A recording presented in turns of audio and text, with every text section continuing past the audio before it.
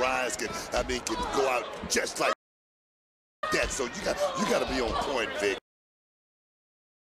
You got to stay focused. You know, we do want to say it is unfortunate to learn of Jakara Jackson. Wow, injury. beautiful, beautiful move there.